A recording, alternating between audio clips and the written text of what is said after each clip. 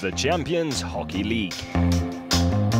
Champions Hockey League was founded in 2013 as a corporation by 26 founding clubs, 6 founding leagues, and the International Ice Hockey Federation IIHF. It is a club-driven competition with the aim to award the best team in Europe and develop the sport of ice hockey on the continent, on and off the ice. The CHL's current format sees 32 teams from 13 leagues battle to be crowned champions of Europe.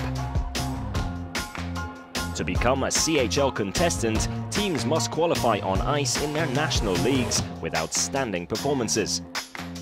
This results in having 15 champions, plus other top teams of founding and challenger leagues. The CHL is a unique project with all the stakeholders teaming up in order to build the league as Europe's greatest hockey competition and to give fans Europe's most exciting hockey experience. As we're all European, brave, human, united, unconventional. Champions go beyond.